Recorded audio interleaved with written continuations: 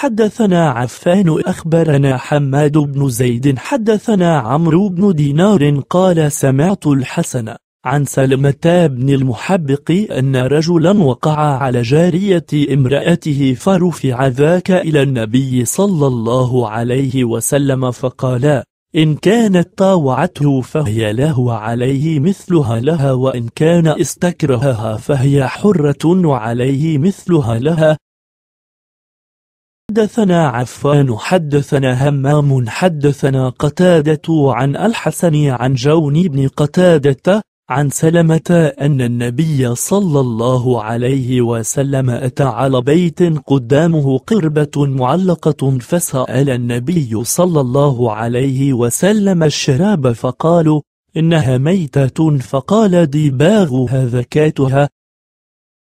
حسن أسود بن عامر حدثنا شعبة عن قتادة عن الحسن عن رجل قد سماه عن سلمة بن المحبق أن النبي صلى الله عليه وسلم أتى على أهل بيت فاستسقى فإذا قربة فيها ماء فقالوا إنها ميتة يا رسول الله قال الأدم طهوره ديباغه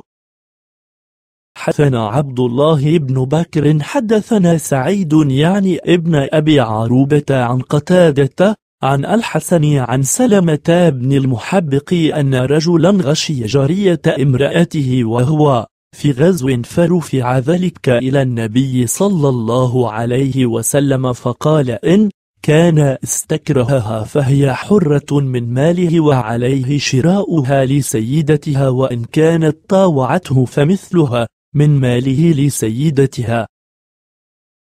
حسن إسماعيل عن يونس عن الحسن عن سلمة بن المحبق أن رجلا خرج في غزاة ومعه جارية لامرأته فوقع بها فذكر للنبي صلى الله عليه وسلم فقال إن كان استكرهها فهي عتيقة ولها عليه مثلها وإن كانت طاوعته فهي أمته ولها عليه مثلها. وقال إسماعيل مرة إن رجلا كان في غزوة حدثنا هشيم عن يونس عن الحسن عن سلمة بن المحبق عن النبي صلى الله عليه وسلم فذكر معناه حدثنا محمد بن جعفر حدثنا شعبة عن قتادة عن الحسن عن سلمة بن المحبق عن النبي صلى الله عليه وسلم مثله. حدثنا محمد بن جعفر حدثنا سعيد عن قتادة عن الحسن عن جون بن قتادة عن سلمة بن المحبق أن نبي الله صلى الله عليه وسلم أتى على قربة يوم حنين فدعا منها بماء وعندها امرأة فقالت إنها ميتة فقال سلوها أليس قد دبغت فقالت بلى فأتى منها لحاجته فقال ذكاة الأدم ديباغه.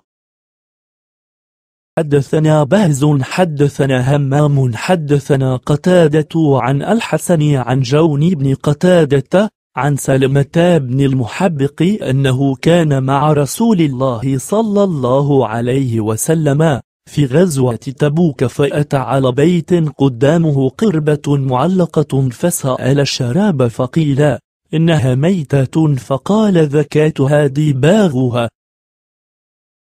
حدثنا عبد الرزاق حدثنا معمر عن قتادة عن الحسن عن قبيصة بن حريث عن سلمة بن المحبق قال قضى رسول الله صلى الله عليه وسلم في رجل وطئ جارية امرأته إن كان استكرهها فهي حرة وعليه لسيدتها مثلها.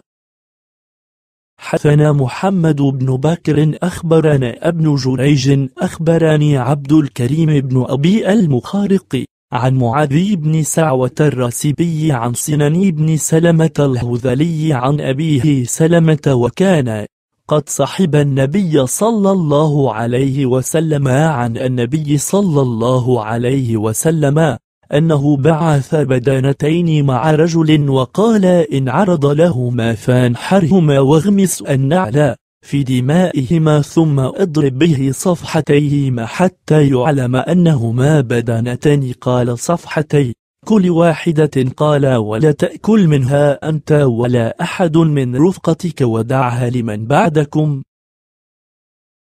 حدثنا عمرو بن الهيثم وأبو داود وعبد الصمد المعنى. قالوا أخبرنا هشام عن قتادة عن الحسن عن جون بن قتادة عن سلمة بن المحبق أن نبي الله صلى الله عليه وسلم دعا بماء من قربة عند امرأة فقالت إنها ميتة فقال أليس قد دبختها؟ قالت بل قال ديباغها ذكاتها